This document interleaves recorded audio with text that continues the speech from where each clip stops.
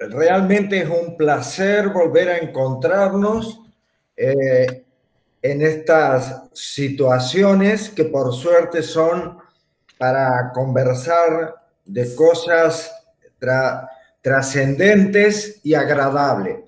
Bueno, esto lo pongo en porque si alguno de ustedes ha pasado por la ciudad universitaria, no va a ver esta imagen durante muchísimo tiempo porque se está realizando una gran obra y realmente impacta eh, en las características visuales que tiene en este momento la Secretaría de Graduado. Eh, esta imagen realmente la coloco porque para mí es eh, lo que me habla de la posibilidad de integración. Nosotros venimos trabajando desde hace bastante tiempo en eh, una cuestión que inicialmente parecía utópica y que cada vez que nos acercábamos 10 pasos se alejaba 10 pasos, como dice Galeano, que es la integración de equipos de salud, realidad o ficción. Y bueno, acá estamos en este sexto foro taller, en donde yo tengo la impresión de que nos vamos acercando a la velocidad que podemos a la realidad y vamos alejándonos de la ficción. Eh, indudablemente, hoy hablar de salud o enfermedad nos ha llevado a la necesidad de cambiar nuestro discurso porque rápidamente queda fuera de eh, realidad y nos quedamos con la definición de salud como la capacidad de poder responder a los requerimientos que la vida le exige a un ser humano. Y estos requerimientos a los que a veces no se pueden responder, en gran parte de las veces hoy, son a punto de partida de causas sociales que a través de la salud mental de las personas se expresan en el cuerpo. Por lo tanto, si no estamos advertidos de esto, vamos a tener muchos diagnósticos accidentales o incidentales que por otro lado conllevan un error terapéutico. Por lo tanto, las respuestas que necesitan hoy los problemas de salud son respuestas generalmente desde múltiples miradas o múltiples dimensiones que exceden las competencias que tienen las disciplinas. Entonces, necesitamos eh, cambiar nuestras posturas y nuestras actitudes para poder dar respuestas con un enfoque integral biopsicosocial. Y esto nos lleva a la necesidad de un trabajo interdisciplinario. Y en este aspecto, desde la Secretaría de Graduado y desde esta gestión, nos estamos moviendo eh, hacia estos objetivos. Por eso hoy eh, queremos agradecer especialmente a la licenciada Analía González, que va a ocuparse de las infancias y lo que nos preocupa y que a veces no nos ocupamos, y a la licenciada Paula Romero, eh, que nos va a mostrar el cuerpo vivido y el diálogo posible entre la filosofía y las ciencias de la salud. Yo voy a dejarlo a eh, Martín, que las presente a nuestras disertantes como corresponde. Y una vez más, quiero recordarles que no se olviden de sonreír, porque el día que no sonriamos será un día perdido.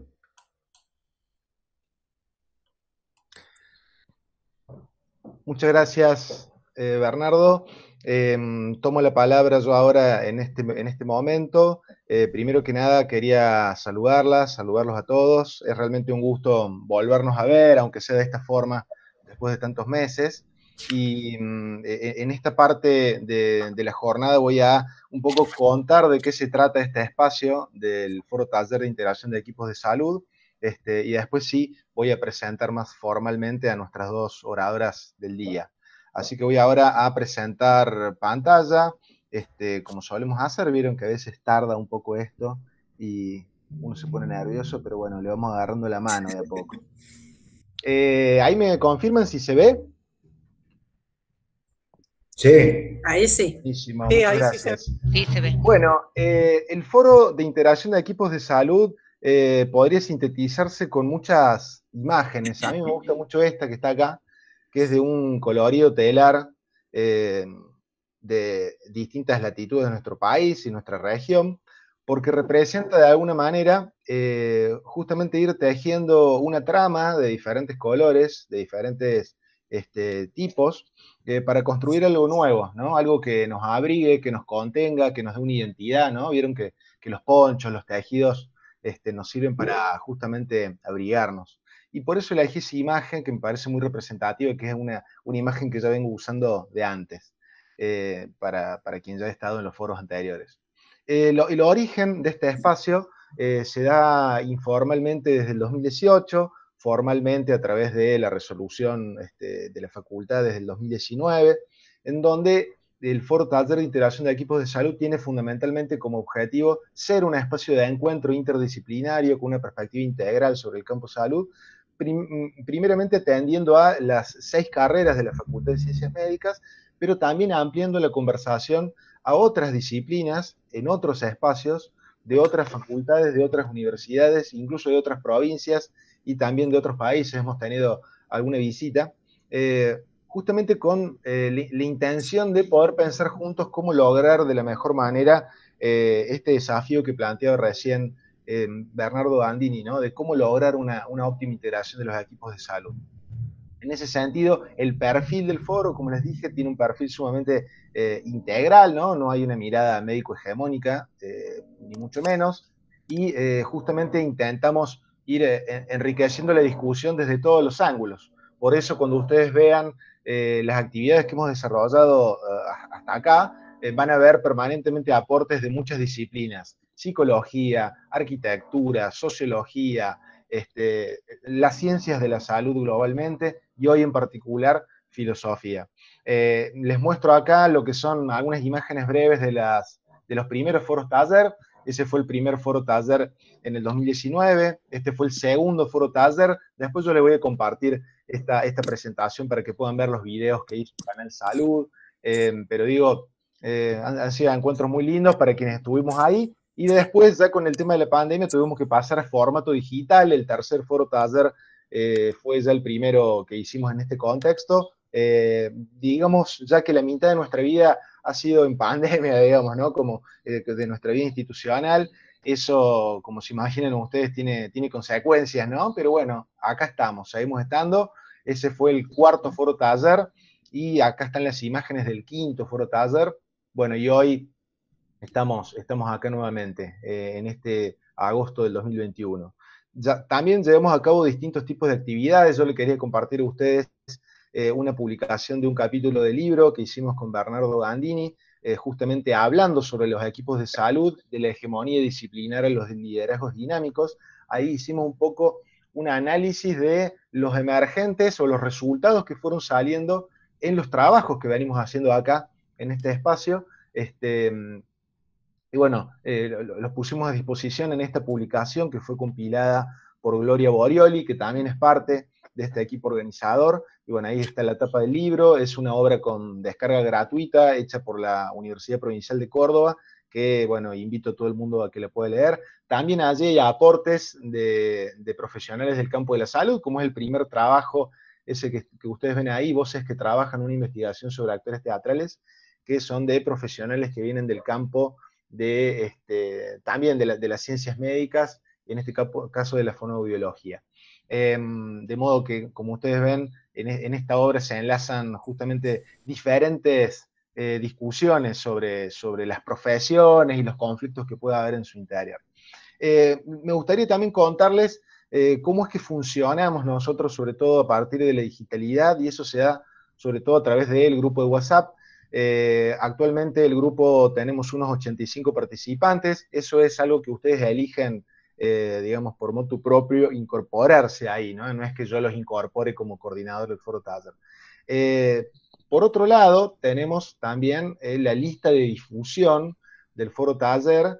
Actualmente tenemos ahí 205 destinatarios, que son todas las personas que han, digamos, que han estado formando parte de los foros de los anteriores cinco, y es ahí cuando ustedes les llegan también mensajes, ¿no? Se les llegan de forma individual, pero son mensajes que yo este, publico desde, la lista de difusión. Em, por ahí ustedes contestan, me agradecen, hay otras veces que no. Eh, a veces también de aprovecho y les pido disculpas por ahí si en los momentos previos de los foros se pone muy intenso, pero bueno, tiene que ver con la lógica de nuestro trabajo, ¿no? Eh, al, foro, digamos, eh, si bien estoy yo como coordinador, somos un equipo de unos 10, 11 profesionales que realmente cada uno va haciendo sus aportes y, eh, bueno, las grandes cosas nunca son individuales y esto es una muestra de eso, ¿no? Acá hay un equipo de, muchos, de muchas personas que, trabajamos, ¿no? Para esto. Eh, en el último foro taller, o este año, en realidad, inicios de este año, hicimos una encuesta interna eh, entre todos los participantes, un poco porque queríamos tomarle el pulso, escucharnos y queremos saber qué ideas surgían como para ir siempre mejorando ¿no? en, ese, en, en ese plan y una de las ideas fue que, bueno, hubiera por ahí lecturas disparadoras antes de los foros, ¿no? Como para poder comprender mejor de qué iban a hablar eh, las invitadas, los invitados expertos que siempre convocamos. Y es por eso que implementamos justamente eso que ustedes están viendo ahí, es mm, básicamente un enlace en donde ustedes pueden acceder a todas las presentaciones que hemos podido recopilar de los anteriores foros taller y también las lecturas disparadoras eh, para el, de hoy, ¿no? que es ese texto sobre este, salud y fenomenología y el otro cuento, digamos, sobre infancias que sirven de alguna manera como un estímulo para, para poder eh, insertarnos mejor en la charla que nos van a proponer las oradoras de hoy. Em, otras cuestiones, bueno, un poco pasando los anuncios parroquiales, si en una de esas a ustedes les llegó el link y están acá y todavía no se han inscrito, bueno, les recuerdo que pueden hacerlo, ahora les voy a volver a pasar el link, pueden hacerlo porque de eso depende, eh, primero que podamos establecer y construir una base de datos para estar en contacto, y segundo para que ustedes puedan tener el certificado de existencia ¿no? del encuentro de hoy. Eh, ya llegando al final, eh, por alguna otra información que quieran saber más en detalle sobre este espacio del Foro Taller de Interacción de Equipos de Salud, nos pueden contactar por mail o si no, ahí a mi WhatsApp en particular. Eso sería todo. Bienvenidas y bienvenidos al sexto foro taller de interacción de equipos de salud. Y ahora sí, em, paso la palabra, o en todo caso, empiezo a presentar, ya, ahora que somos unas 45 personas, a, bueno, a nuestras, a nuestras oradoras, ¿no? Este, en particular, eh, les cuento cómo funciona nuestra, nuestra lógica de funcionamiento en cuanto a, las, a, cómo nos imaginamos eh, la conversación y, siempre hay em, alguien que forma parte, digamos, de, del, equipo organizador, de, los 10 profesionales que constituyen el equipo organizador. Eh, en este caso, hoy eh, a, esa figura le ocupa Analía González y también siempre traemos a una invitada, algún invitado externo, por ponerlo así, en este caso es Paula Díaz Romero, pero bueno, Paula también ya ahora desde el momento en que está participando ya forma parte de, este gran nosotros, así que bueno, Paula, estás, estás involucrada. Ahora sí, me gustaría presentar primero a Analía, para quien no la conoce, Analía, yo voy a leer una breve presentación antes de darle la palabra.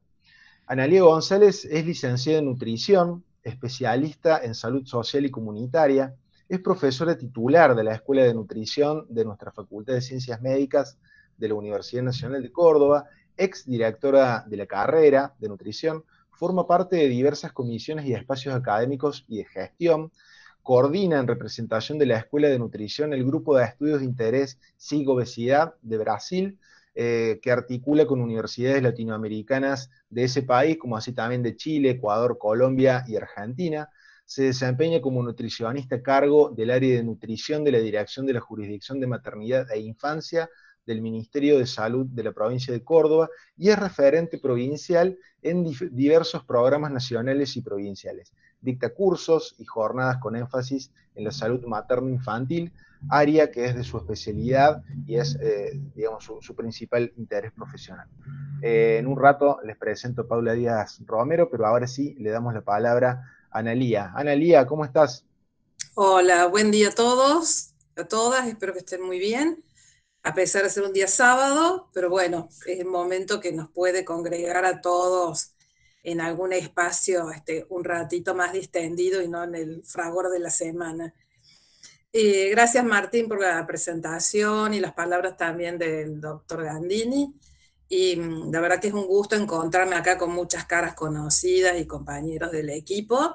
Y ojalá se sume mucha gente a este espacio porque, bueno, la verdad que nuestra idea es esta de compartir Em, ideas acerca del trabajo interdisciplinario y, de, la necesidad de que así sea en muchos aspectos, ¿no?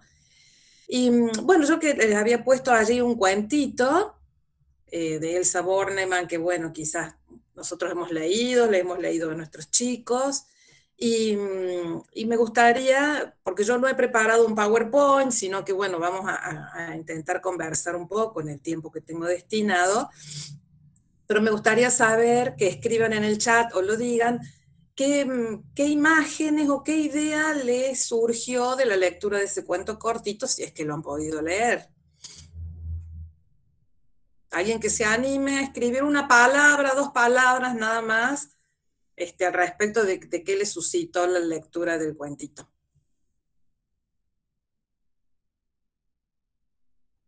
Puntos de vista.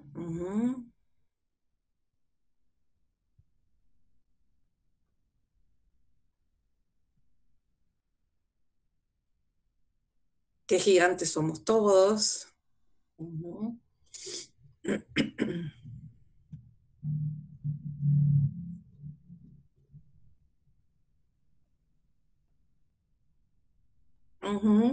Diferencias y silencios.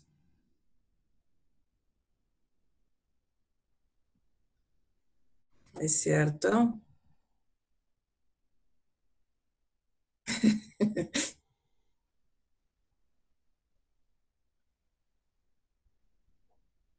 Ahí está bueno, está bueno leer, Analia, por ahí eso, porque hay gente que como está desde los dispositivos no puede leer el, chat. Bueno, ahí les, les, digo así, estos últimos, muchos adultos les cuesta ponerse en el mundo de las infancias, integralidad, proyecciones a futuro, niñez, crecimiento y desarrollo, diferencias, diferencias y silencios, qué gigantes somos todos, alguien que no lo pudo leer, no importa.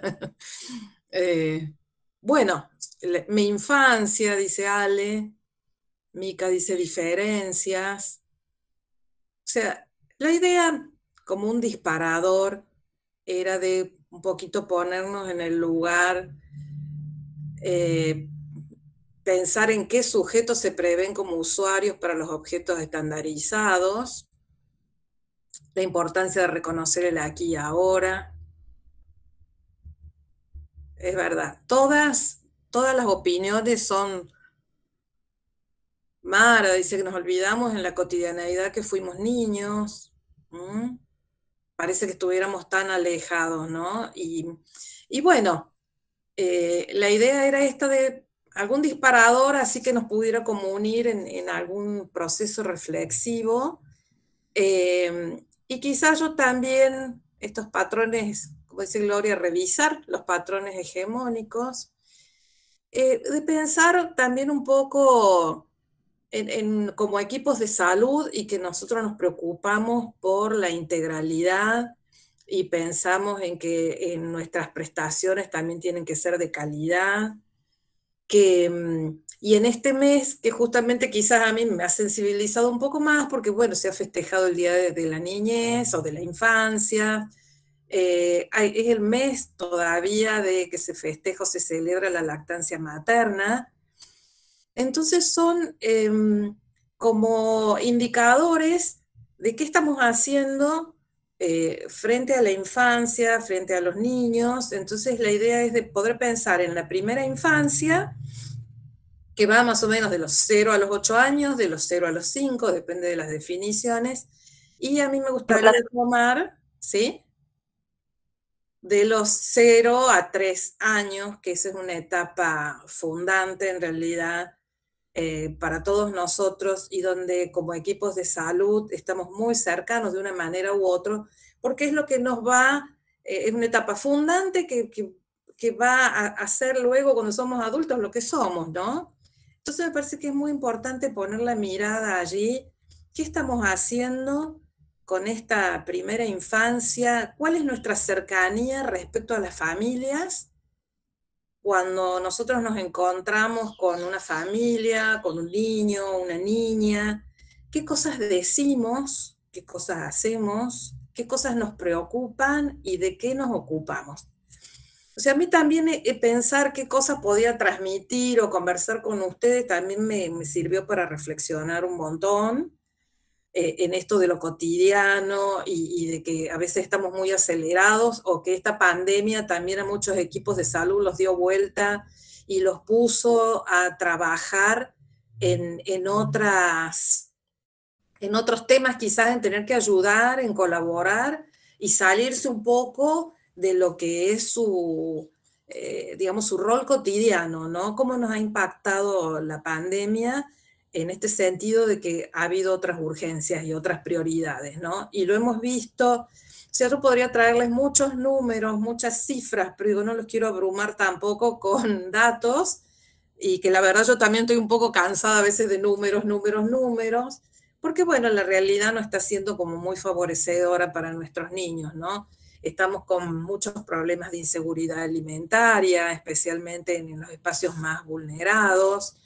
Eh, tenemos muchos problemas con los chicos que no asisten a la escuela, eh, bueno, cosas que suceden en el seno de la familia, cosas que esta pandemia también ha provocado cosas positivas, de estar más en cercanía, que para algunos ha sido una bendición y para otros un suplicio, porque la verdad es que, bueno, tenemos diferentes realidades.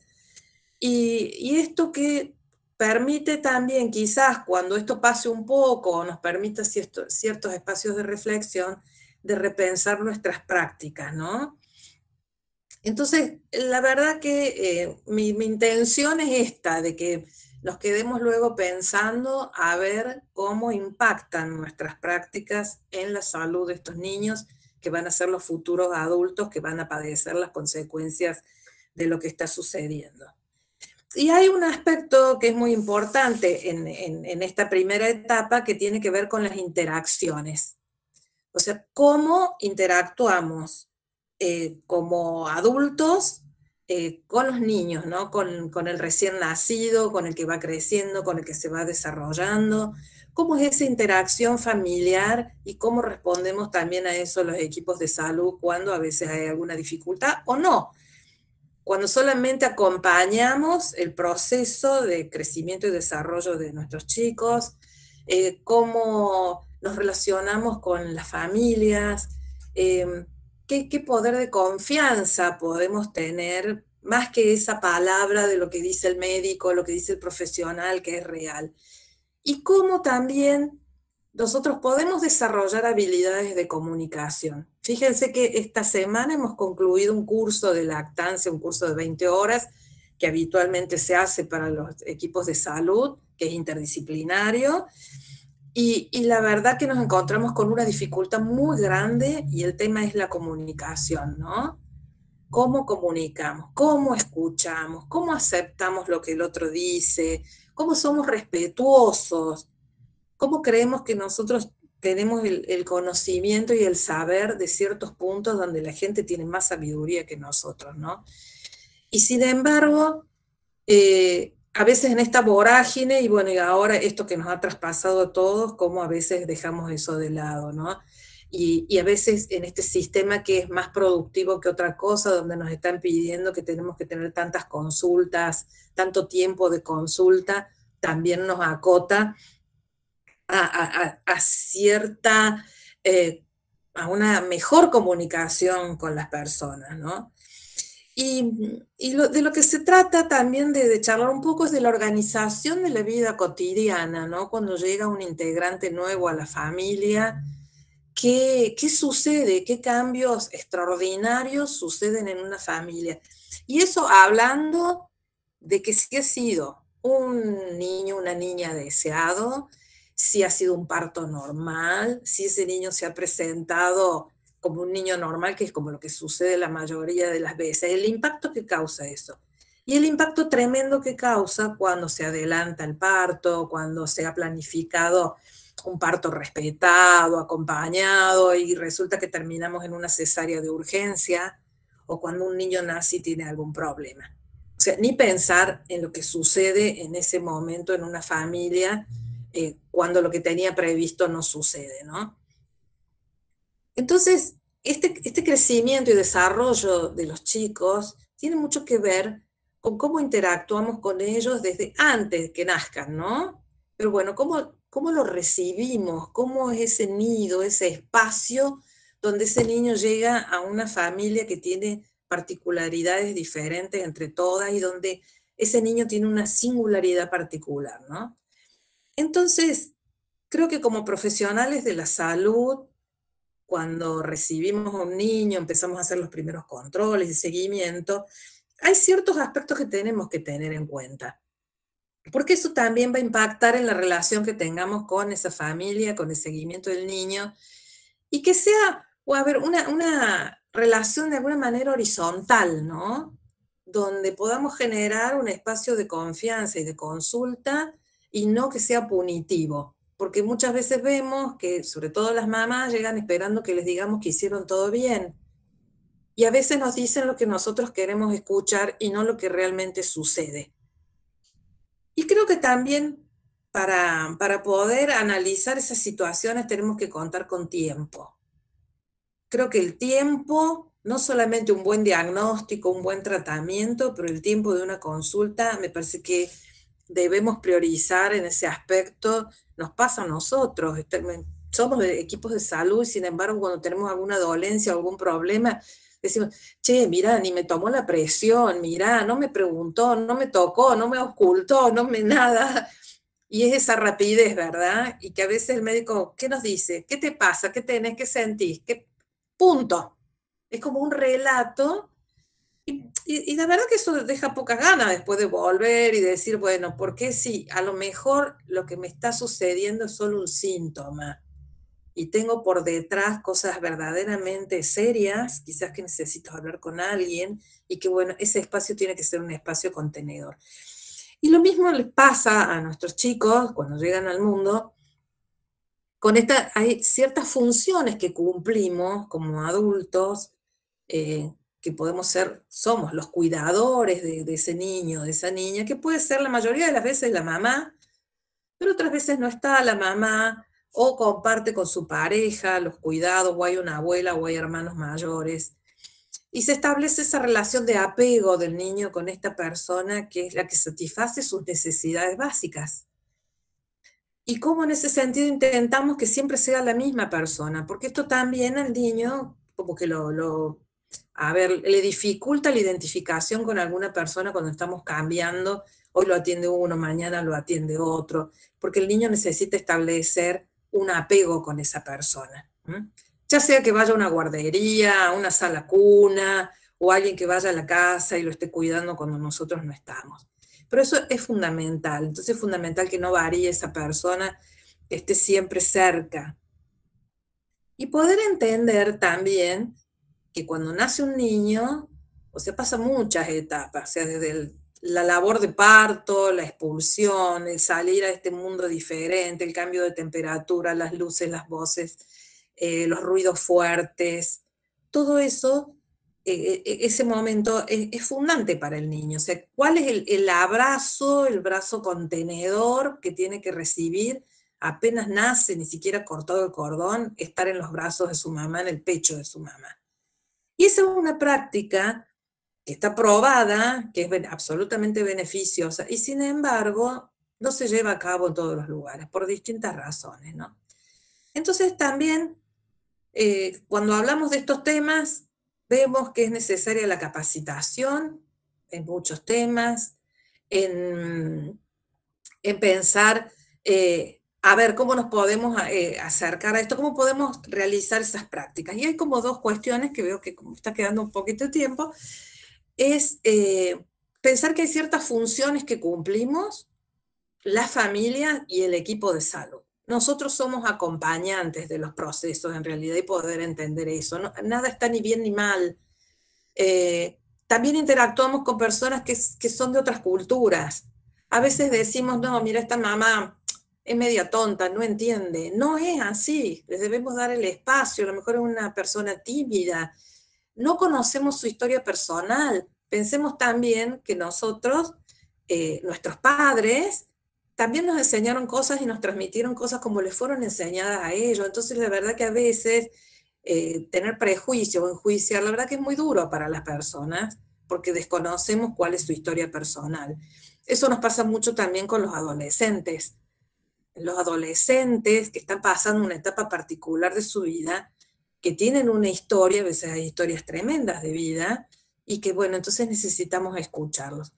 Entonces yo creo que eh, lo importante es cumplir estas funciones, las funciones de apego, de sostén, la función alimentación, son, eh, a ver, cuestiones que como profesionales de la salud tenemos que conocer, no solamente el médico, el nutricionista, porque cuando yo creo que no hay momento más increíble en la vida de un niño de todos los que podemos interactuar desde todas las disciplinas con ellos y con sus familias, porque estamos todos poniendo la mirada en, ese niño, en que, tenga las mejores oportunidades. Tenemos leyes, tenemos los derechos, tenemos un montón de, cuestiones de normativas que nos acompañarían, ¿verdad?, para hacer real estos derechos del niño a la mejor salud.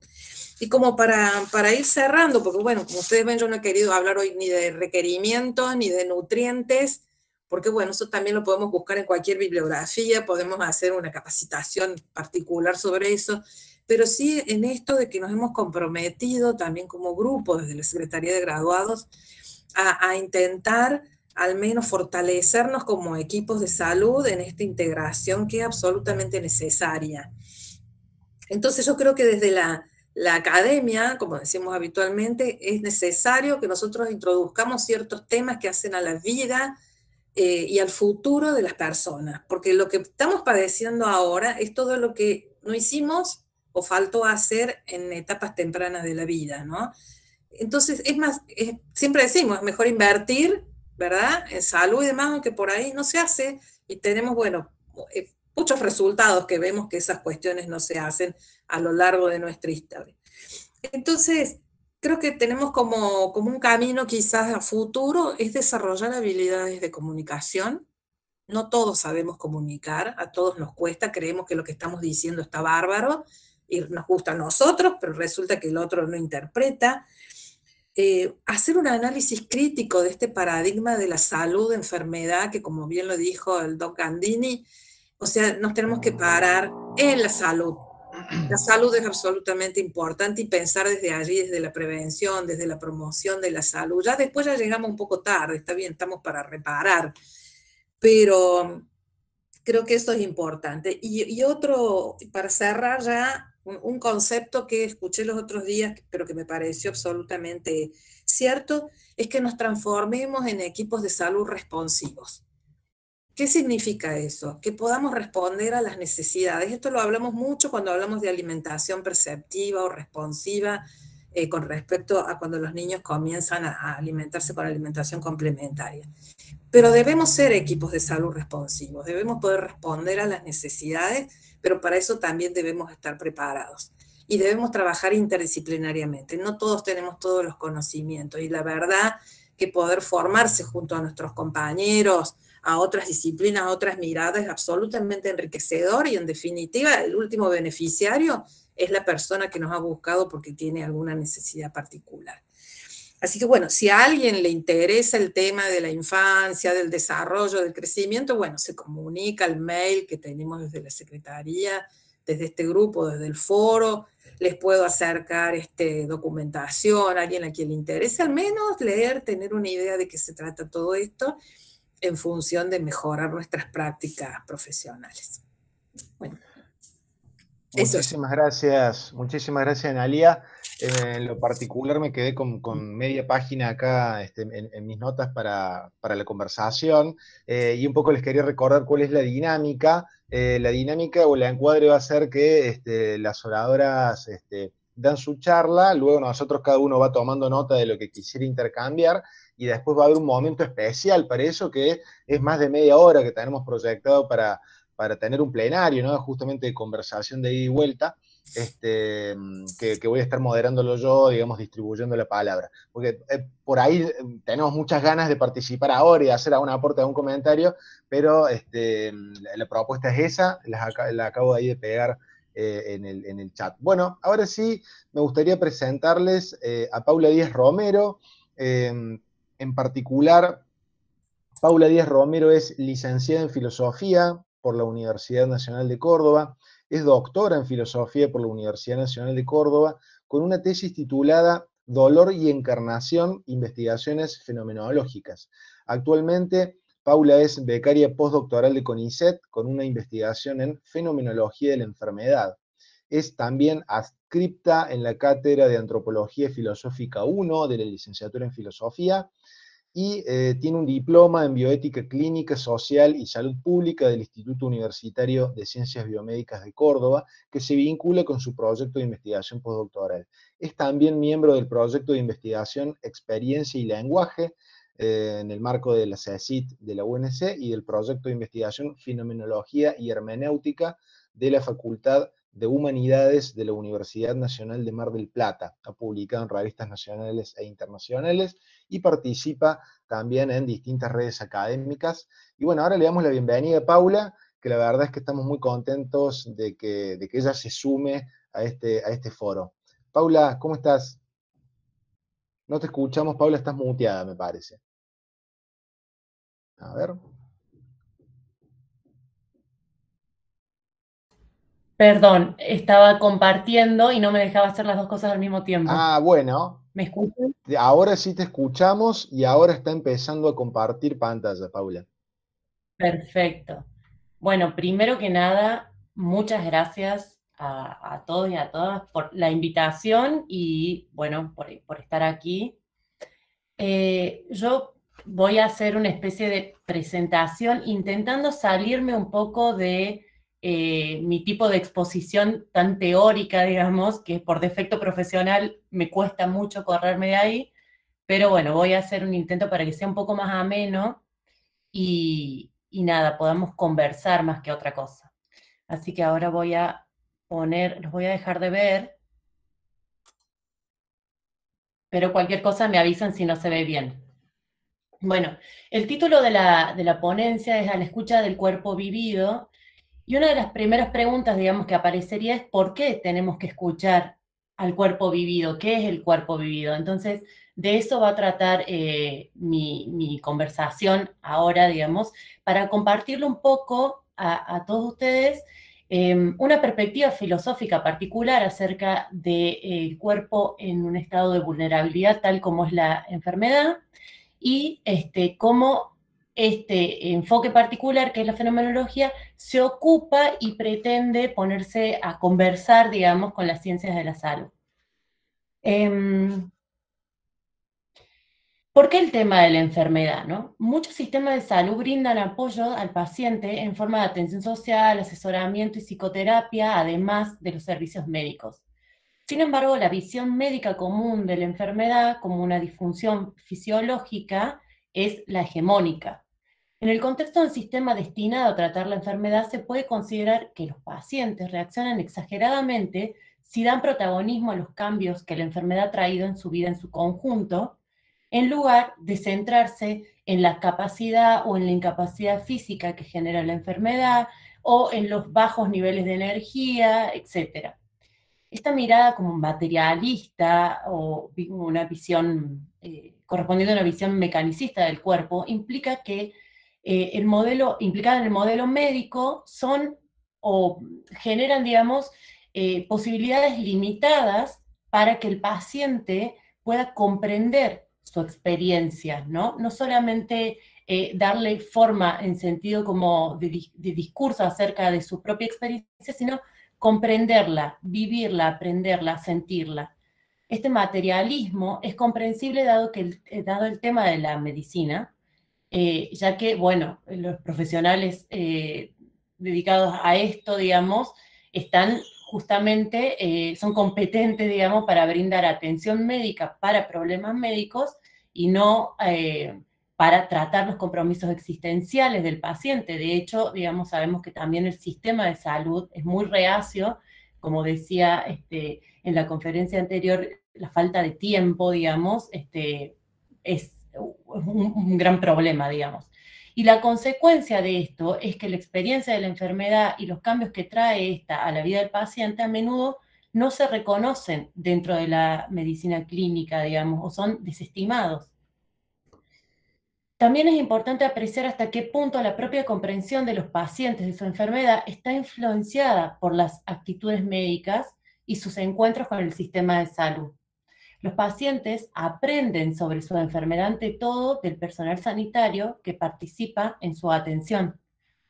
Si este conocimiento se basa en gran medida en hechos médicos, evidencia epidemiológica y el modelo médico, puede limitar la comprensión existencial de los pacientes sobre su propia eh, condición. Los pacientes suelen imitar rápidamente este, este, tipo de discurso acerca de su propia condición, lo que puede llevar a una sensación de alienación y a la falta de una voz en primera persona en el, propio discurso de los pacientes sobre lo que están sintiendo. Ahora bien, teniendo en cuenta este marco, donde aparece el concepto de experiencia, de la voz del paciente, de la posibilidad de hablar en primera persona, eh, voy a mencionar algunas cuestiones relativas a lo que la fenomenología es. Eh, ahí en la foto ven a Edmund Husserl, que es eh, reconocido como el padre de la fenomenología, el padre fundador de la fenomenología. Bueno, el enfoque fenomenológico es o implica un estudio de los fenómenos tal como los experimenta el individuo, con el acento en la manera exacta en que un fenómeno se revela en sí a la persona que lo está experimentando en toda su especificidad y concreción. En esta dinámica eh, que se establece entre el sujeto y el mundo, propias de la fenomenología o del modo de comprender la relación eh, del ser humano con, con su mundo de la fenomenología, este se presenta, el mundo se presenta o se da de un modo a la conciencia. Ahí aparece como el concepto nuclear de la fenomenología. No hay mundo eh, sin conciencia y no hay conciencia sin mundo. Por eso eh, el método fenomenológico es un método de la primera persona que implica o que intenta eh, dar cuenta de las experiencias subjetivas, examinándolas, analizándolas y describiéndolas desde una perspectiva crítica, ¿Qué quiere decir esto desde una perspectiva que no pretenda una naturalización de, las experiencias o que se corra de los prejuicios y los juicios que tenemos sobre cómo son las cosas? Ahora bien, la experiencia que tenemos, eh, la experiencia consciente de la que estaría hablando la fenomenología, está siempre eh, encarnada, ¿no? estamos eh, encarnados en un cuerpo por el cual somos acerca del mundo y somos en el mundo. La experiencia que tenemos de los otros cuerpos pone en relevancia nuestra propia corporeidad y se diferencia radicalmente de la que tenemos de nuestro propio cuerpo. Mientras los primeros cuerpos, perdón, mientras los primeros pueden reducirse con facilidad a las cosas materiales, a meras cosas, la experiencia primordial que tenemos de nuestro cuerpo es la de un ser, o de, ser vivo, digamos, de estar animado. Tenemos un saber objetivo del cuerpo, por ejemplo, el que nos puede dar el discurso científico eh, que está encarnado, digamos, en las prácticas médicas, y tenemos también un no saber del cuerpo vivido, es decir, una comprensión de la propia corporeidad, una experiencia, un sentir de la propia corporeidad que al mismo tiempo funda y reclama el cuerpo objetivo. Ambos, de distinto modo, dan lugar a la posibilidad de un saber del cuerpo alternativo al científico. una filosofía del cuerpo vivido o del cuerpo viviente en la que lo normal y lo patológico adquirirían nuevas definiciones. No solo puedo experimentar mi propio cuerpo como un objeto de mi experiencia, cuando lo siento, lo toco, lo miro en el espejo, por ejemplo, sino que el cuerpo también es lo que hace posible las experiencias de una persona en primer lugar. Este cuerpo que soy es mi posición en el mundo, el espacio que soy y que a su vez se mueve conmigo. El cuerpo es, por regla general, algo que no se nos muestra, que no se nos muestra en nuestras experiencias, que está supuesto y que posibilita nuestras experiencias del mundo, nuestras relaciones con los otros, con las cosas. Se, se retira el cuerpo en nuestra experiencia cotidiana y así abre un foco en el que es posible que las cosas del mundo se nos muestren de diferentes maneras significativas. Cuando hablo con otra persona, por ejemplo, no presto atención a la forma en que mi cuerpo se siente y se mueve. Me concentro en ella, en la conversación y en las cosas que trato de comunicarle. Esto es posible por la forma en que mi cuerpo actúa silenciosamente en segundo plano. Ahora vamos al tema central que nos interesa, la experiencia del cuerpo enfermo. El concepto de enfermedad y también el de salud pueden en este marco ser reconsiderados teniendo en cuenta este concepto de cuerpo vivido. ¿En qué sentido o para qué sería interesante hacer esta revisión? Al menos para cuestionar la idea que asegura que los cambios existenciales producidos por la experiencia de la enfermedad, o sea, la vivencia de la propia enfermedad, son secundarios y se derivan del concepto primario de enfermedad en el sentido de una disfunción fisiológica o una patología somática. Pero, ¿esta afirmación es, cierta? ¿Es la enfermedad principalmente la falla de un sistema fisiológico y solo secundariamente afecta la vida de la persona enferma? En esta óptica filosófica, la disfunción biológica es solo un aspecto de la enfermedad. La ruptura del fenómeno esencial unificado en elementos biológicos frente a elementos sociales y psicológicos se basa en un punto de vista naturalista y como tal es una petición de principio. El enfoque fenomenológico, que es el que yo intento compartirles aquí, rechaza esta distinción tanto en su visión metafísica general como más concretamente en su enfoque de la enfermedad, en este eh, intento de establecer relaciones con la ciencia de la salud, discusiones con la ciencia de la salud.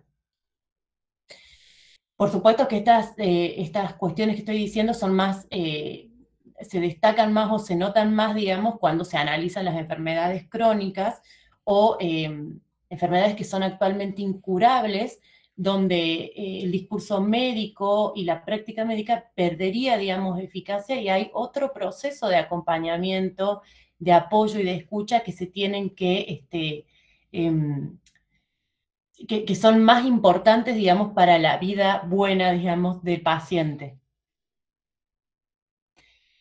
Ahora bien, la experiencia de la enfermedad, y esta es una descripción fenomenológica de la misma, eh, divide el cuerpo biológico del cuerpo vivido. En lugar de la perfecta correspondencia entre nuestro cuerpo objetivo nuestro cuerpo físico, material, biológico y nuestra experiencia de él, en la enfermedad el cuerpo biológico se comporta de manera extraña. Eso que decíamos, que yo no, percibo mi propia corporalidad cuando estoy hablando, cuando estoy eh, proyectándome hacia el futuro o cuando estoy tomando un café, digamos, en la enfermedad eso se quiebra y aparece el cuerpo en primera escena. La función transparente y silenciosa del cuerpo biológico desaparece. El cuerpo biológico es ahora el objeto de la atención ansiosa del paciente y del escrutinio médico. La alteridad de este cuerpo pasa a primer plano. Puede comportarse de manera extraña o incluso volverse irreconocible. Y acá señalo algunos de los, de los rasgos más generales de la experiencia del dolor. La pérdida de la identidad, una disociación entre mi propia percepción de mí mismo y la percepción de mi cuerpo, el mundo imposible, una alienación con el mundo, el mundo se vuelve un obstáculo, eh, ir eh, no sé, dirigirme a la cocina puede ser una acción imposible, y soledad, distanciamiento con los otros, es otra de las experiencias típicas en caso de enfermedades graves, enfermedades con, asociadas a dolores crónicos o, discapacitantes. El movimiento entre el cuerpo biológico y el vivido tiene un potencial creativo al, mismo tiempo, y esto es algo que la fenomenología intenta destacar. Además de, de los elementos alienantes, objetivantes de la propia corporeidad, eh, que acentúan, digamos, este carácter disruptivo de la enfermedad que genera esto, ¿no? Un distanciamiento con los otros, con las cosas del mundo y con mi propia corporalidad. También tiene un potencial creativo.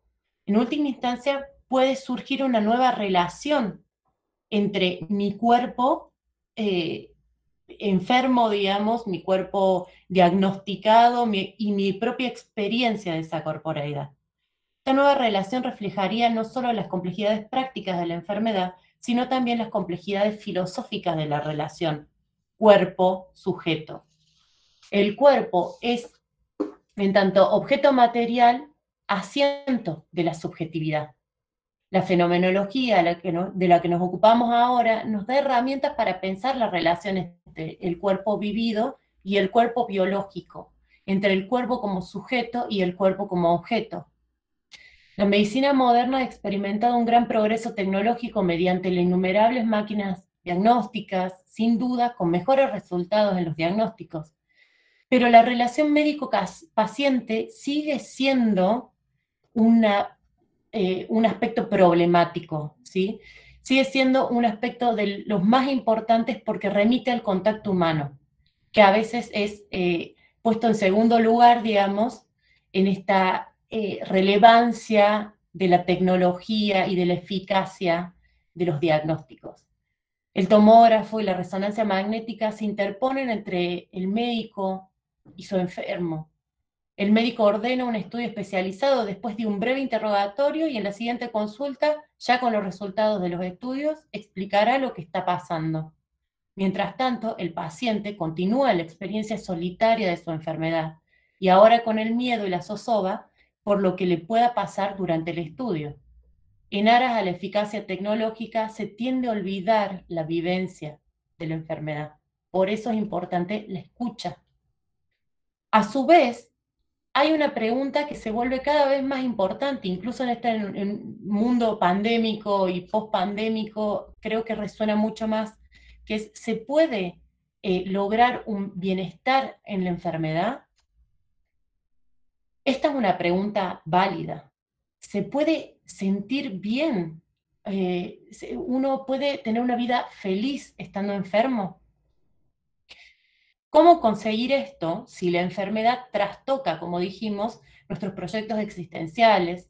La enfermedad implica una pérdida de oportunidades, de posibilidades y de apertura de sentido del mundo. Pero ¿hay una, una vida buena posible para el enfermo? La enfermedad nos abre al mundo de un modo distinto. Abre a la reflexión y nos transforma y por eso tiene tanta relevancia en el mundo de la filosofía, digamos, la pregunta que aparece con el ¿por qué a mí? ¿Por qué te, esto me toca a mí? Que aparece muchas veces también con la enfermedad ligada a situaciones dolorosas o incurables, como habíamos dicho, que no tiene tratamiento. Em, por eso, y a modo también de cierre, a mí lo que me interesaba, digamos, eh, abrir, digamos, aquí a la discusión, al debate o a la reflexión, es cómo, cómo eh, entendemos la enfermedad vivida por quien la padece, ¿no? Por quien la siente. Y una fenomenología del cuerpo vivido nos permitiría eh, resituar, digamos, nuestra mirada o modificar nuestra mirada de la enfermedad de una mirada del cuerpo eh, máquina, del cuerpo que hay que arreglar, del cuerpo que hay que, eh, del que hay que extraer algo o colocar algo nuevo para que funcione, a una mirada del cuerpo como experiencia, como vivencia, ¿no? Como uh, el cuerpo con, sus capacidades de adaptarse y de readaptarse, de significar y resignificar el mundo. Entonces las preguntas serían, ¿cómo es vivir enfermo? ¿Cuál es la experiencia de alguien que ya no puede caminar y hablar o realizar tareas como escribir o cocinar? ¿Qué impacto tiene la enfermedad en el mundo de la persona enferma? ¿Qué ocurre con las metas y planes temporales ante la incertidumbre médica, por ejemplo, no?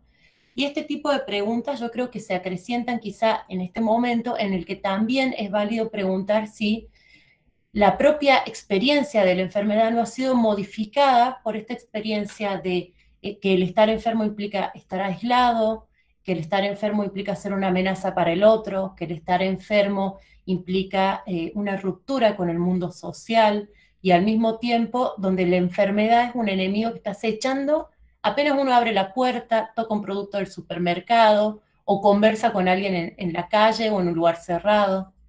Entonces, bueno, con estas preguntas yo cerraría la exposición y dejo para, que conversemos. Muchísimas gracias. Muchas gracias a vos, Paula. Te, venimos escuchando con atención y ya empiezan, empiezan las participantes y los participantes a dejar comentarios. Eh, lo que tenemos ahora organizado sería este, un poco que, aprovechemos una pausa, que de hecho vamos a tener eh, de unos 10 minutos, como para, este, además de hacer alguna nota, escribir algún comentario, alguna relación, yo, yo eh, estoy pensando relaciones entre lo que eh, compartió Analía y lo que compartió Paula, ¿no?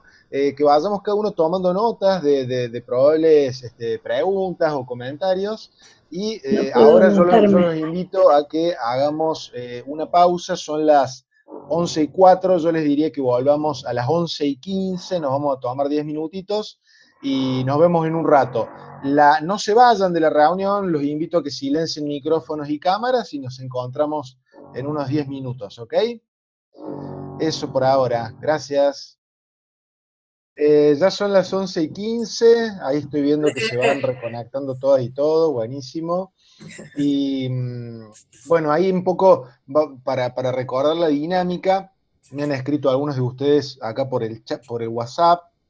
Yo les quería decir lo siguiente, eh, siempre, eh, yo ahora voy a, mientras se va dando la discusión, yo voy a pasar algunos mensajes acá en el chat, por ejemplo, el link para que puedan agregarse a nuestro grupo de WhatsApp, obviamente un espacio abierto, optativo, pero ahí circula mucha información.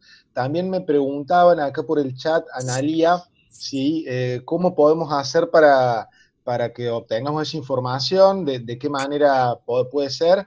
Yo ahora te propongo, Analía, se me acaba de ocurrir, que podamos subir eh, esos archivos que vos tengas dentro del Google Drive que hemos armado específicamente. Entonces ustedes a través del celular van a poder acceder mm, a través de un link a todos eh, los archivos, digamos, los insumos y los materiales, los textos que venimos conversando ahora. Si te parece vos, Analia, me lo podés enviar a mí, yo lo voy a subir eh, al Google Drive, ahora les paso el link donde están alojados todos los materiales. Bueno. gracias. Con respecto a las preguntas, eh, yo les realmente sería más operativo si ustedes las pudieran escribir. Si en cambio no pueden escribirlas, pueden alzar la mano acá en este botón que está a la izquierda del botón rojo de cortar la comunicación de la manito. Miren, ahí yo subí la mano eh, y yo les doy la palabra, ¿sí? Ahí veo que ya están pidiendo la palabra muchas personas y este, en todo caso vamos a ir combinando entre las personas que quieran hablar, digamos, y este, los que vayan escribiendo en el chat.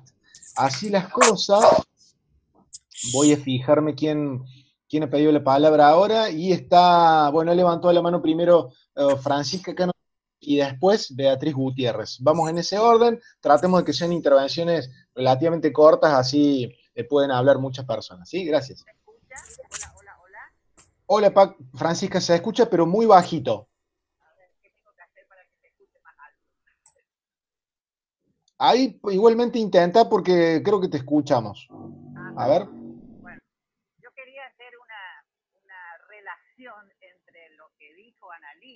La disertación, primero les quiero felicitar a las dos expositoras, que estuvieron fantásticas, este, pero estoy tratando de relacionar este, la exposición de Analía con la exposición de Paula.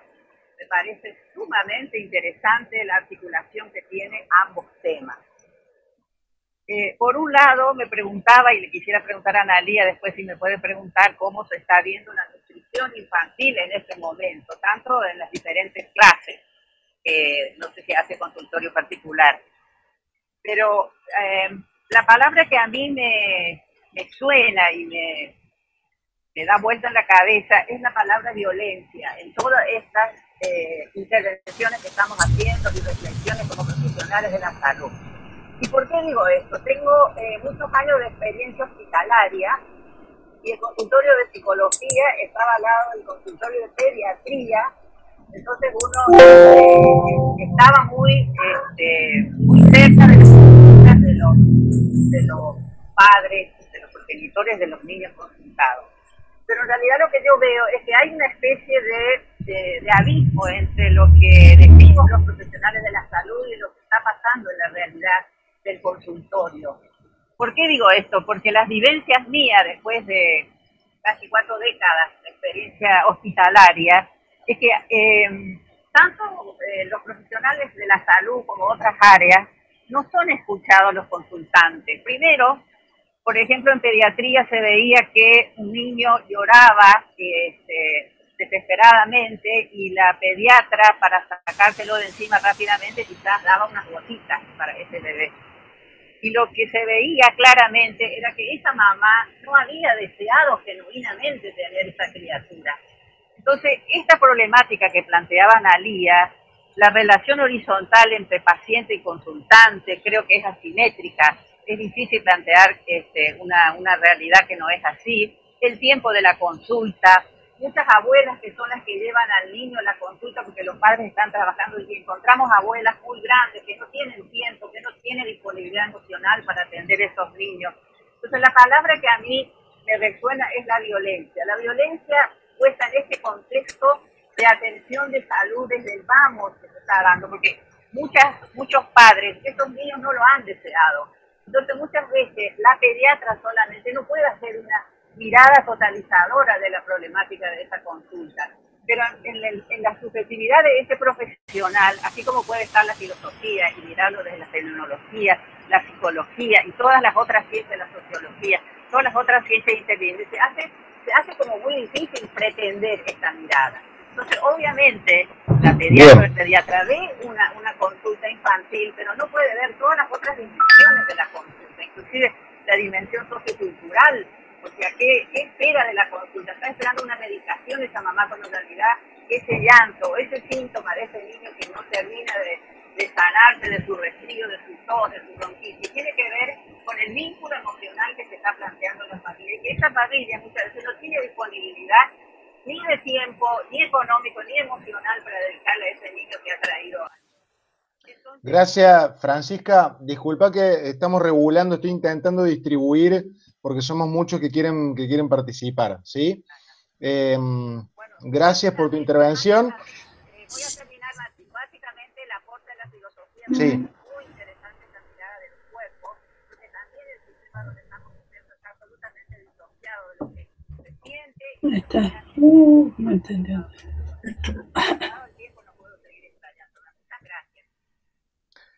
Bueno. No escuchar. Sí, no sé. Perdón, eh, estoy muteado. Ahí está. Creo que podemos integrar eh, dos o tres comentarios como para que Paula y Analia puedan ir respondiendo. Eh, ahora tenía la palabra Beatriz Gutiérrez y después voy a leer algunas intervenciones. Pueden seguir levantando la mano y yo distribuyo. Sí. Sí, Beatriz. Felicito a las dos expositoras que, que estuvieron muy bien. No sé, para que no me conozca, yo soy psicóloga, años en el hospital de clínicas y y me parece muy interesante el tema de las habilidades comunicacionales que planteaba la licenciada González, eh, cuestión que yo observé a través de muchos años, el déficit que tenemos todo el equipo de salud en la formación de pre y posgrado, que no existe.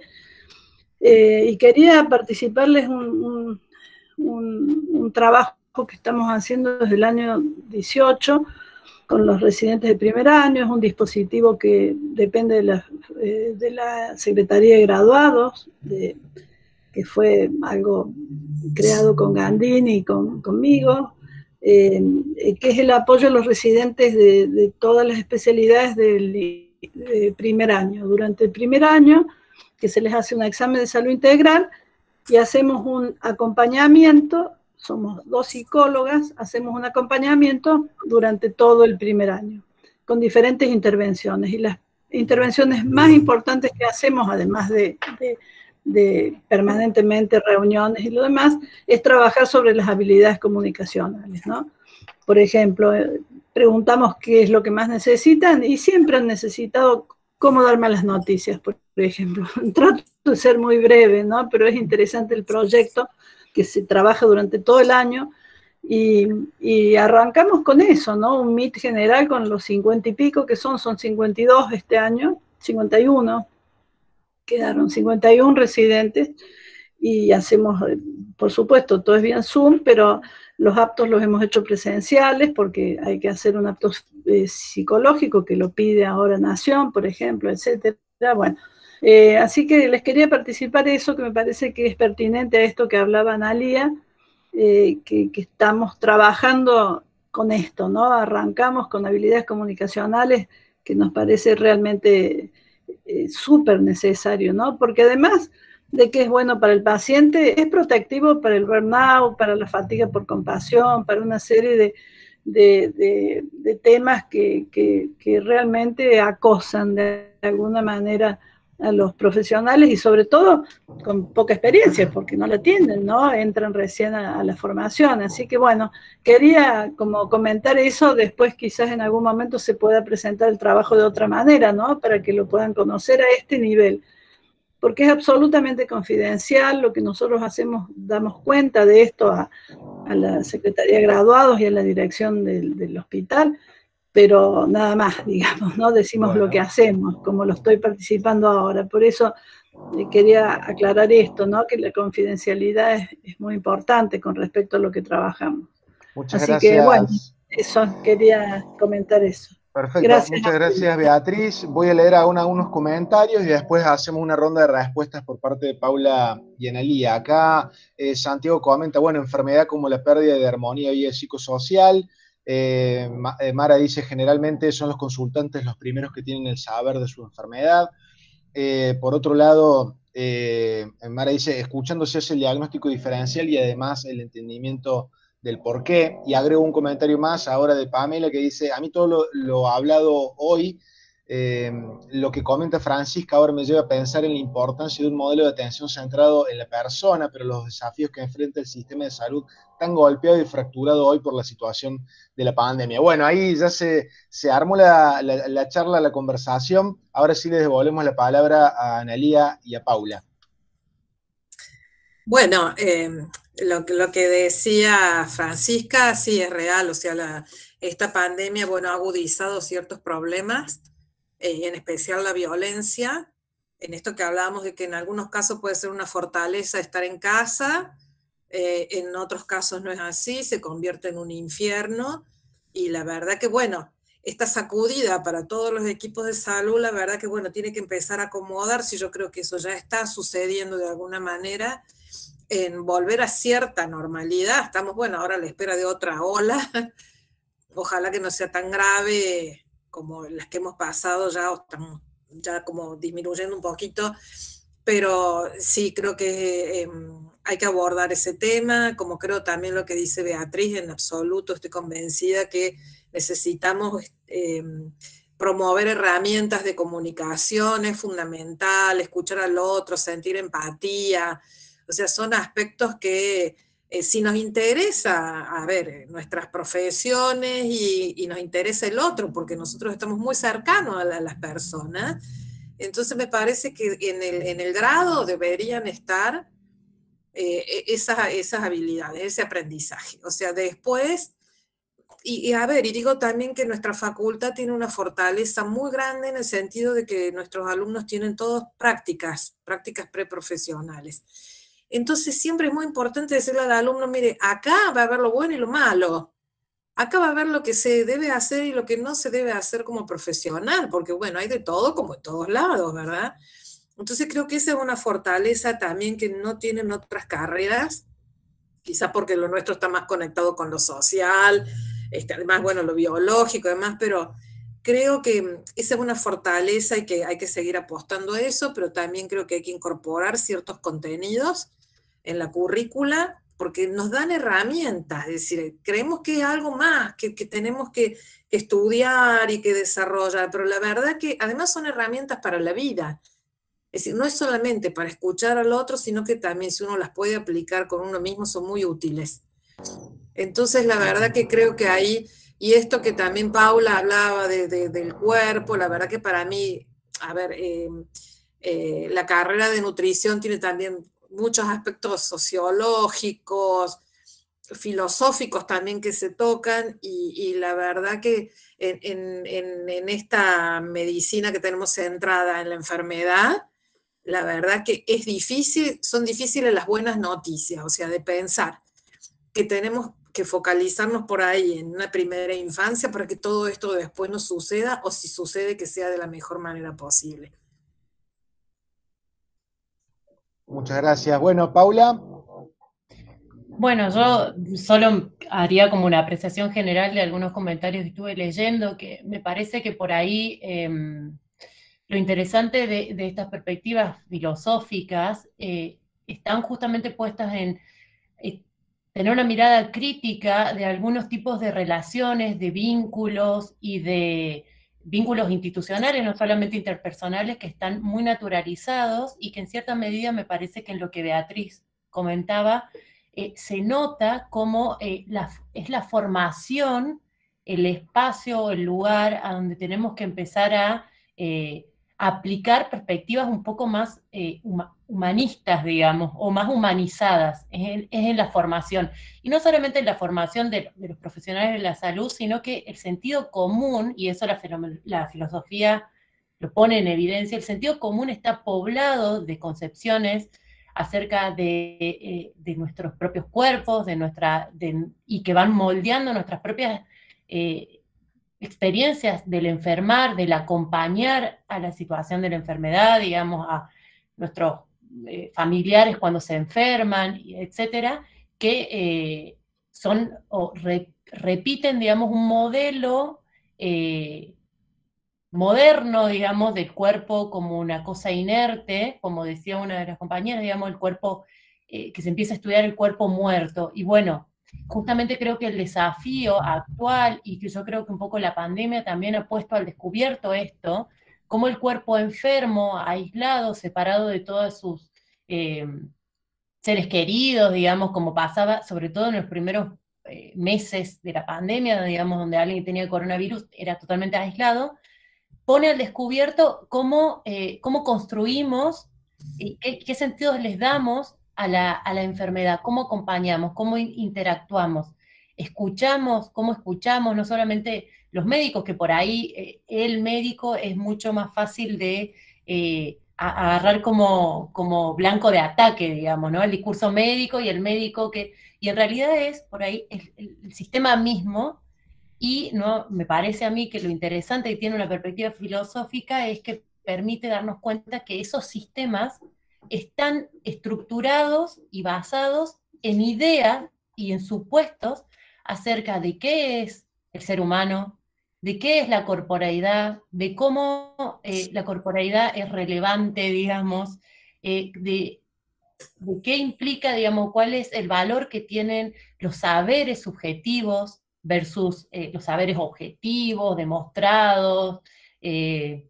entonces, me parece como que también se relaciona mucho con esta idea de Analía de nos preocupamos o nos ocupamos y que creo que tiene que ver con esto, digamos, con, con cambiar la mirada y atender, eh, atender en el sentido de ocuparse de, ¿no? Y por supuesto que mi mirada es mucho más como, eh, como, no sé, fácil de hacer porque estoy desde, desde el lado de la filosofía, digamos, ¿no? No estoy metida ahí en el terreno, en el territorio, digamos, donde justamente creo que el sistema sanitario es muy eh, cruel también con el personal de salud. Bien. Interrumpo ahora porque leo alguna tanda más de, texto y después seguimos con otra ronda así de respuestas. Dice, y después le doy la palabra a Sandra eh, Sevilán. Eh, Gloria dice, escuchándolas a Paula y a Francisca, pienso también en el sufrimiento provocado por la violencia sobre los cuerpos, no solo de los niños, sino también de las minorías sexuales, en violencias institucionales, también en los ancianos desatendidos. Constanza dice, un comentario pregunta, me llama la atención el cuerpo viviente. Eh, bueno, estudiamos cuerpos muertos, leemos en libros procesos congelados y después pretendemos abordar la complejidad de un organismo vivo. ¡Qué locura! ¿Cómo hacer para empezar a teorizar y practicar el cuerpo viviente? Me interesa. Muchas gracias. Em, comentario de Santiago que ya lo leí. Magali dice, considero que la vivencia de la enfermedad de cada persona es diferente. Como personal de salud podemos ser responsivos ante las necesidades que ellos plantean. Escucharlos es la clave desde mi punto de vista. Gracias a las disertantes. Por ahora freno acá la lectura del texto y le doy la palabra a Sandra ahora. ¿Qué tal? ¿Cómo les va? ¿Me escuchan? Bien. Sí, te escuchamos. Bueno, soy docente de la Escuela de Enfermería y directora de la especialidad en salud familiar y eh, comunitaria. Excelente las exposiciones de Ana y Paula, riquísimas. Ana Muchas gracias. Mientras te escuchaba, iba vivenciando mi, rol materno. Tengo un hijo de cuatro años eh, y que nació con una discapacidad. Y mm, soy vocera también de un grupo que se llama Mamás App, donde a partir de esto que ustedes están planteando de cómo nos comunicamos los profesionales y las profesionales de salud, ha surgido un proyecto de ley para que se generen comunicaciones humanizadas a la hora de dar diagnósticos, ¿no? Entonces es algo en lo que seguramente después vamos a poder articular y sería interesante poder hacerlo con la participación de ustedes. Desde, la idea es desde el posgrado apoyar esa, esa ley. En cuanto a lo que planteaba Beatriz, ¿no? Eh, este proyecto que es súper interesante, estos espacios de foro nos permite conocer lo que desconocemos de nuestra facultad y eh, sería, poder, sería interesante articular también a futuro sería fundamental por ahí trabajar esto de cómo comunicar las, las noticias diferentes o las noticias difíciles, porque ya la connotación de malas noticias nos predispone también a esta situación difícil de hacer ese intercambio, ¿no? Me, ponía a pensar mientras te escuchaba y también desde esta perspectiva fenomenológica eh, que tenemos en relación a, la enfermedad, eh, haber vivenciado hace poquito una intervención quirúrgica, el 13 de agosto me operaron, me permitió hacer todo ese proceso y cuando leía este artículo que, nos han propuesto para hoy, he vivenciado también estos nueve meses de padecimiento que, he tenido que transitar, teniendo incluso capitales, este, distintos capitales, digamos, a los que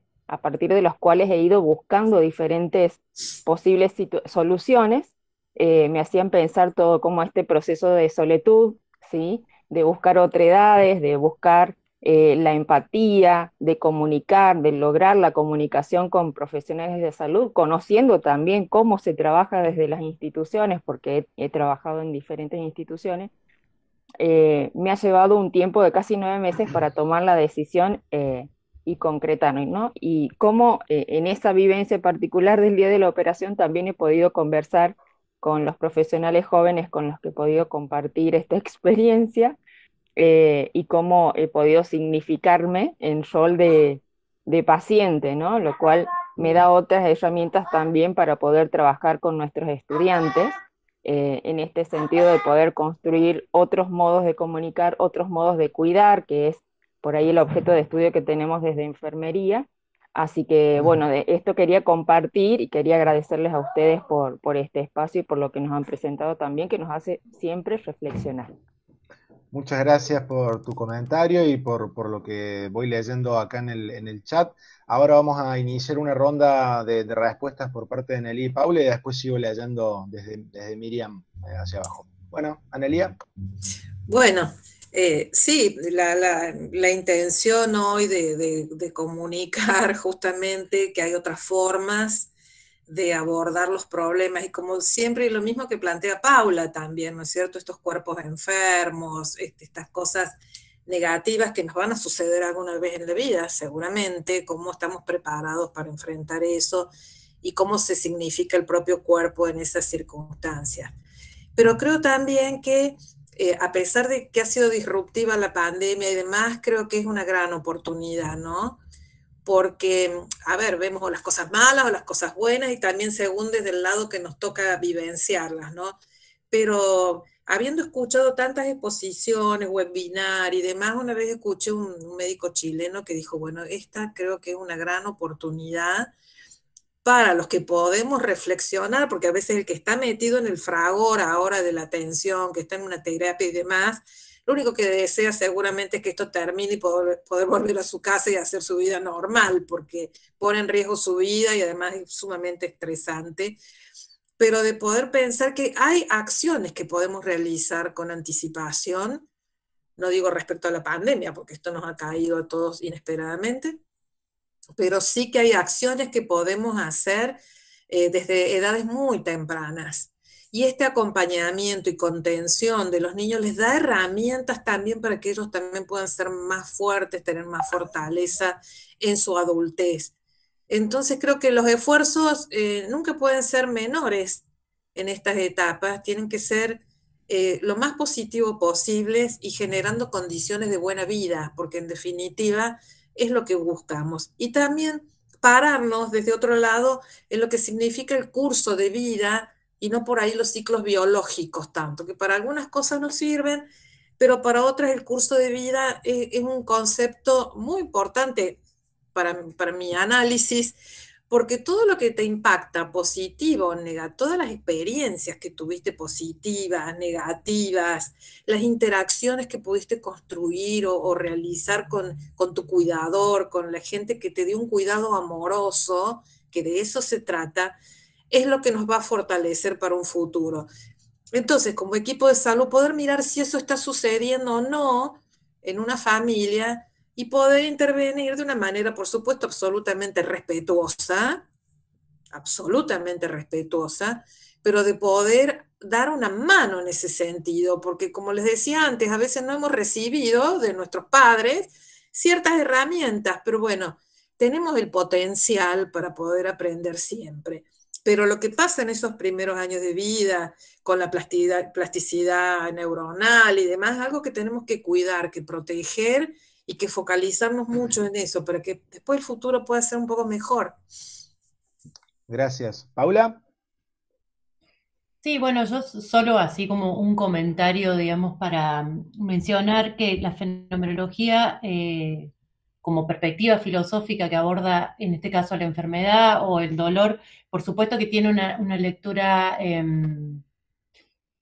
bastante crítica de este discurso operante, hegemónico, digamos, eh, en la medicina, que trabaja el cuerpo, eh, eh, el cuerpo objeto como objeto de investigación, pero que al mismo tiempo, digamos, intenta desde esta mirada interdisciplinar acompañar estas nuevas propuestas, así como la que presenta Analia, y no desconoce, digamos, que hay una comprensión de la enfermedad multifocal, digamos, multi, eh, interdisciplinar, transdisciplinar, etc. Y en ese sentido, digamos, la propuesta de este tipo de, enfoques también propone metodologías para que, por ejemplo, esta eh, idea de, ah, de, habilidades comunicacionales que salió ya en más de una oportunidad acá, digamos, también eh, propone, digamos, desde su metodología, cómo enriquecer y favorecer para que cuando, en la escucha de la experiencia del paciente se puedan, digamos, eh, pulir, entre muchas comillas, esa experiencia para que se escuche, pero al mismo tiempo se obtenga, digamos, algún tipo de información más ligada a la información que tiene que ver con los aspectos cualitativos, que por ahí, digamos, eh, dentro de, de, la perspectiva fenomenológica, lo que, se, lo que se ve, digamos, que hay como un rechazo a, esta, a las experiencias o a las dificultades que tienen los sujetos de, dar cuenta de sus experiencias, por ejemplo, los niños, ¿no? Eh, personas que tienen como eh, muchas dificultades para, comunicarse, digamos. Entonces, eh, pretende, digamos, buscar herramientas para favorecer, digamos, una especie de entrenamiento de la escucha por parte del profesional que dé lugar a aquello que el sujeto está intentando decir, digamos, ¿no? Eso está como, es muy complejo, yo acá no, no, no lo presentaría, digamos, pero si a alguien le interesa también, hay mucho material sobre metodología fenomenológica, digamos, de acceso a la experiencia subjetiva, que nada, está disponible si a alguien le interesa, eh, yo lo puedo pasar también. Buenísimo, gracias Paula. Voy me echando comentarios míos también. Eh, si surge acá la necesidad de intercambiar material, les pido a las oradoras que me lo pasen a mí, yo lo voy a subir al grupo, así todo el mundo puede tener acceso y queda ahí alojado. Eh, voy a seguir ahora leyendo eh, mensajes que han, ustedes escrito, por ahí los voy a leer más, más rápido, los voy a sintetizar. Vamos a estar charlando unos 10 minutos más, hasta las 11 y 55 y después Bernardo Gandini va a hacer un poco una, síntesis y un cierre y después les contamos cómo seguimos. ¿sí? Eh, Miriam Guevara dice, considero que el principio de solución a muchas de las problemáticas actuales, fundamentalmente sociales, estaría ahí justamente en ocuparse en serio de este, las infancias, sobre todo de las vulnerables. Eh, similar a, dice Santiago Paviolo, ¿no? En prestarle atención a eh, las villas o los hogares eh, disfuncionales. Gloria Borio le dice, a veces nos referimos a los cuerpos parlantes, y con estas dos conferencias de hoy, tan movilizantes, se me ocurre que también podríamos pensar en los cuerpos escuchantes, y en los cuerpos como textos a ser leídos. Por otro lado, Patricia Timpanaro dice, muchas gracias Paula, es emocionante leer eh, el cuerpo y la trayectoria de las personas en su situación de pacientes. No se escucha o se subestima el sentir de la persona tratando de estandarizar dentro de lo esperado para su edad, patología, etc. Y a veces esas características salen de lo común y no se pueden encasillar. La persona sube con más sabe con más exactitud lo que le sucede, ya que habitó ese cuerpo desde su nacimiento. Bueno, ahí eh, abrimos entonces una ronda más de conversación con la misma modalidad, Ana y Paula. Em, sí, estaba pensando, por supuesto, muy interesante las opiniones también de quienes participan, porque bueno, también lo están haciendo desde sus propios espacios laborales y, y las experiencias que tienen, ¿no? Pero sí, es cierto que esto es movilizante, porque a veces uno se pregunta, ¿qué estoy haciendo? ¿Cómo lo hago? ¿Esto es efectivo? ¿No es efectivo? O sea, está muy bueno que nos preocupemos y nos ocupemos de verdad, ¿no? Porque eh, es triste pensar que vamos pasando nuestros día a día con la gente que necesita a lo mejor alguna respuesta y, como que nos vamos insensibilizando, ¿no? Y, y me parece que lo importante también es entender la singularidad de las personas o sea, podemos tener la misma enfermedad, puede ser un paciente diabético, pero no es igual a otro. Tiene distintas circunstancias en su vida, le pasan cosas, eh, tiene recursos diferentes, también no solo recursos económicos, sino los propios este, recursos psíquicos, a veces para afrontar las situaciones. Y bueno, e, eso es lo que nos permite la escucha, una escucha activa, este, y poder dar respuesta a esas cosas. Y si uno no lo sabe, porque a veces uno no sabe cómo acompañar, para eso está el resto del equipo. Que además también eso es, es muy importante poder apoyarnos en otros, ¿no? No todo tenemos que saber, entonces me parece que también esa, esa escucha y esa respuesta responsiva también tiene que ver con esta integración de los equipos, ¿no? Porque muchas veces nos pasa, a lo mejor trabajamos en atención primaria y en el barrio donde estamos, este centro de salud recibe los chicos que van a la escuela, que van a la guardería en el mismo barrio, o sea, somos muchos actores sociales los que estamos en contacto con esa familia, con ese niño, qué mejor que desde distintas miradas nosotros podamos acompañar ciertos procesos, ¿no? Así que creo que ahí también hay que poner el foco en esto de que no todo tiene que recaer en nosotros, no todo en el médico, ¿verdad? Como bien decía Paula, que a veces el objeto que le ponemos ahí, que qué malo que es, o que no me escucha, o que no me, no me, como solemos decir. Y de verdad tiene que haber un equipo, que, pero que también tiene que haber un, un, digamos, un Estado que también reconozca y proteja a los trabajadores, ¿no? En todo sentido porque también se siente la soledad a veces de estos esfuerzos únicos o de pequeños equipos que no tienen el reconocimiento que necesitan. Y todos necesitamos que nos digan cosas positivas acerca de nosotros, porque eso también nos alimenta para seguir y, para tener ánimo y demás. Pero si todo cae mal y todo es crítica y todo está mal, la verdad que también desalienta. Pero acá alguien hablaba de los cuidadores y sí, ¿quién cuida también al trabajador de la salud? ¿no? Gracias, Analia. Paula. No, sí, yo creo que eso es fundamental, hacer, digamos, hincapié también en el, efecto que tiene eh, el, sistema sanitario sobre los propios trabajadores, digamos, de ese sistema. Me parece que es algo que, por ahí se, toca poco, digamos, pero que al mismo tiempo, esto que vos decías de eh, la escucha activa, que me parece que es fundamental, y el trabajo concreto en equipos, ¿no? Esta, esta posibilidad de pensar que no es necesario no saberlo todo, ¿no? Es difícil por ahí de desandar en las prácticas profesionales. Eh, pero me parece, digamos, que la forma de, construir eso es tener estos espacios. O sea, yo veo que escuchándolos, digamos, y no participando de yo de, un, de una institución de cuidados sanitarios, digamos, veo que ya hay mucho movimiento y esta idea de, o esta, esto que comentaba mm, Sandra, de un proyecto de ley de comunicaciones humanizadas, me parece que hay un camino ya eh, que se está abriendo para eh, pensar en cómo, cómo eh, generar prácticas humanizadas que también implican una humanización de los propios espacios laborales, digamos, ¿no? Porque me parece que muchas veces uno como paciente eh, se, enoja, se siente desprotegido, vulnerado, y también eh, del costado de, la vida profesional, del movimiento de un hospital, una salita, eh, hay mucha vulneración también, ¿no? O sea, como esto que decía Gloria, el escucha, el cuerpo escuchante, ¿dónde queda el cuerpo escuchante también? Porque, bueno, qué sé yo, si no es una carga infinita, me imagino, pero bueno, creo que es un proceso que hay que hacer. Eh, es una práctica social y en ese sentido, digamos, presenta responsabilidades y está cada vez más acompañado por otras disciplinas que no tenemos responsabilidad, digamos, carga social así como efectiva, pero que buscamos acompañar y facilitar, digamos, eh, brindar herramientas conceptuales, eh, generar, digamos, espacios de discusión que intentan ser como amables o, por lo menos constructivos, digamos. Así que, nada, a mí me, encanta lo que está pasando en este momento, digamos.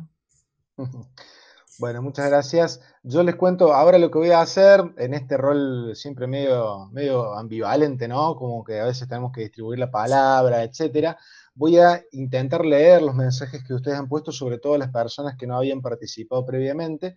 Y, ahora desde las 11 y 55 ya el Doc Gandini va, a hacer un cierre y después les, les contamos cómo salimos. Em, dice Julia, em, Julia es enfermera, eh, soy enfermera de oncología del Hospital de Clínicas, a, a mí me agregó la doctora Ceruti, Nota al pie, la doctora Ceruti nos eh, ha sido parte de este foro taller durante su inicio, este, nos dejó el año pasado, este, y bueno, justamente Julia hace un, recordatorio ahí sobre ella. Eh, dice, mm, dice Julia para Paula, ¿no? Que esto de las enfermedades incurables como el cáncer ha sido muy fuerte y en esta pandemia aumentó toda esa dificultad. Por otro lado, Pamela dice, la importancia de las habilidades comunicacionales y las habilidades para la vida, sobre todo la empatía, me lleva a pensar que esto que comunica Paula, el paciente ya viene sufriendo, preguntándose por qué a mí. Creo que allí, como equipo de salud, hay que empoderar, acompañar para que ese paciente se pregunte por qué no a mí. Eh, ¿Qué me vino a enseñar esta enfermedad? Sobre todo en el caso de las enfermedades crónicas. El paciente muchas veces se presenta ya como la enfermedad, como si fuera su diagnóstico. Eh, Francisca dice, la pandemia también visibilizó la importancia de la vida. Mara dice, tanto lo emocional como el poder de la palabra no deben ser subestimados, tienen una importancia capital. Eh, Santiago dice que eh, se debería entender que los médicos justamente atienden personas que han sufrido una descompensación de salud. Miriam dice, en el caso de los pacientes con COVID, en lo personal siento que nosotros, el personal sanitario, nos convertimos en su familia mientras están hospitalizados y viceversa. Sigo leyendo a personas que no han participado. Eh, Marcela Luchese se pregunta, ¿cuál es el alcance del acompañamiento tanto en la relación médico-paciente y como en el proceso de enseñanza y aprendizaje? Eh, Sara Montiel pregunta o, comenta, eh, me sucedió hace una semana en la zona rural donde me desempeño que una mujer adulta de 75 años se cae en su domicilio fracturándose la mano con obra social, etcétera, este bendito sistema en lo privado no le acompañó a tal punto de comenzó con depresión y fallece en 15 días. Justamente ella decía, ¿por qué a mí? Es decir, nosotros eh, también desde el ámbito rural sanitario, eh, la importancia del acompañamiento y la empatía tanto para ella, para la paciente, como, como para su familia. Em, terminó falleciendo esta persona, dice, dice acá la compañera. Eh, Pamela comenta, esto de las experiencias de vida y la intervención respetuosa me lleva a reflexionar en la importancia de este diálogo de saberes entre el profesional y el paciente, lo científico y la cotidianidad, para dar respuesta a las necesidades sentidas de esa persona en particular, como dijo Nalia. María del Carmen Borgata, la pandemia hizo replantearnos cómo estamos cuidando. Eh, y es acá en donde resurge el contexto del cuidado humanizado, aunque suene redundante. Eh, ¿Quién cuida a los cuidadores? Em, bueno, leo estoy intentando leer apretadamente los comentarios. Sandra dice, omití decir que desde la especialidad trabajamos más allá de la clasificación de tipo y estructura familiar, destacamos la importancia de la vida familiar como proceso y es allí donde se construyen los cuidados y es fundamental conocerlos y reconocerlos para luego intervenir.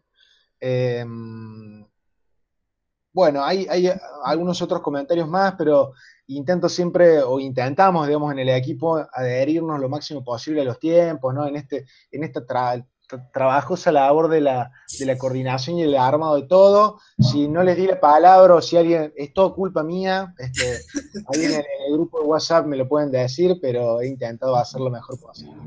Son las 11.55, tratamos de trabajar muy precisamente en esta dinámica y entonces ahora ya le paso la palabra a Bernardo Gandini.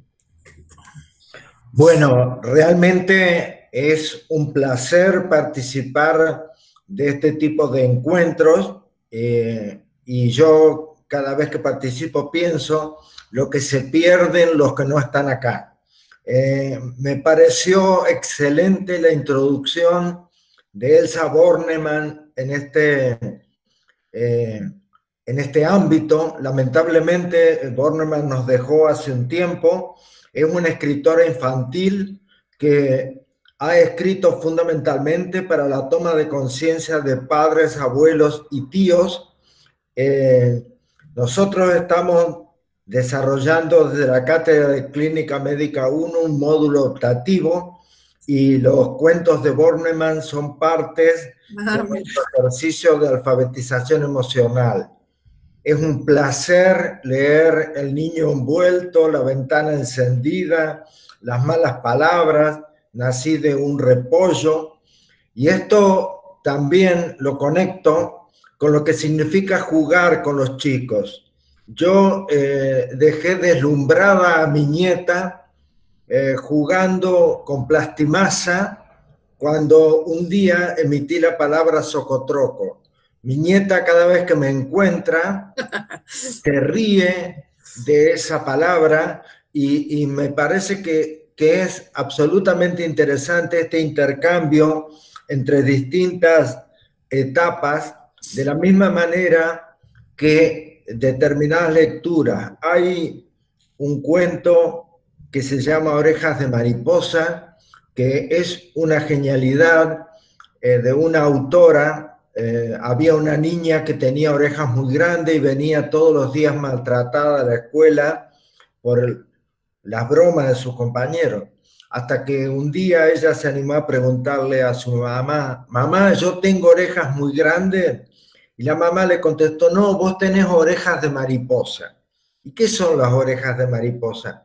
Las orejas de mariposa son las que le ponen color a todas las cosas feas de la vida. Y en este, este, desde este momento la niña cambió su actitud y le puso humor a las respuestas frente a las burlas de los demás. Y por ejemplo, cuando tenía una media rota, que se le salía el dedo, hablaba de un dedo explorador que con su curiosidad quería salir al mundo. Y esto es lo que a veces, si pasáramos del modelo de salud centrado en la enfermedad al modelo de salud centrado en la persona, eh, podríamos realmente, y no por decreto y por obligación, sino por educación, empezar a entender cómo se enferman las personas. Eh, a través de escuchar la forma en que expresan su dolencia. Ahora, con respecto al cuerpo, hemos avanzado mucho porque en la década del 60 las personas eran desde el cuello para arriba y era absolutamente todo intelectual. Hoy el cuerpo tiene otras connotaciones y eso ha llevado a que muchas personas entren en un estilo de vida más saludable, eh, Obviamente que hay también algunas deformaciones y vamos llegando gradualmente al eh, el cuerpo enfermo y los significados que realmente cada uno le da. Eh, pero para eso necesitamos que en los lugares donde formamos personas dejemos de estandarizar las enfermedades y los discursos y tengamos tiempo para ocuparnos de eh, algunas cosas más relacionadas con las subjetividades y con los significados. Es eh, absolutamente necesario que eh, nos podamos poner no a recitar lo que es empatía, a practicar la empatía. Y para poder realmente tener actitudes empáticas, necesitamos una sociedad más prosocial, porque si la sociedad no trabaja hacia la prosocialidad, por defecto se vuelve antisocial. Es absolutamente necesario y no, eh, digamos, centrar la cosa solamente en, términos, porque eh, la palabra paciente, en mi caso, eh, está hablando de un ser humano al que le respeto la autonomía, al que escucho y con el que comparto la manera de colaborar en la recuperación de su salud. Y me parece que el concepto que yo tengo no es peyorativo, porque no lo he llevado a la, a la cuestión de usuario, pero si a mí me quisieran eh, imponer otra terminología, me pasaría como con el teatro eh, de Córdoba que se llama Teatro San Martín y la gente le sigue diciendo Teatro Riverín d'Arte. Así que, bueno, yo soy de otra época, soy un migrante digital, así que con algunas cosas no me puedo poner de acuerdo, pero primero, eh, los esperamos en noviembre y vamos a tratar de pensar inteligentemente cómo hacemos para que en vez de que se inscriban 80 y estén 45, se inscriban 45 y tengamos 80 en las conversaciones. Suerte, que les vaya bien y que tengamos una buena vida y podamos ser felices con lo que tenemos. Gracias, igualmente. Gracias, igualmente. Gracias. Muchas gracias. A Podríamos abrir los micrófonos y dar un aplauso por este taller. Sí. Felicitaciones a todo el equipo. Muy buen, muy buen taller. ¿eh? Excelente. Excelente. Gracias.